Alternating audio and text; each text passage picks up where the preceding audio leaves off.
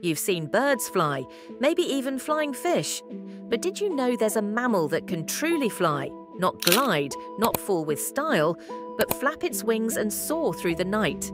And no, it's not some mythical creature. It's the bat.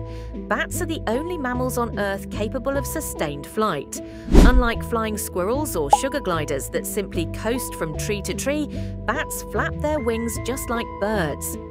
But here's the twist their wings are actually modified hands.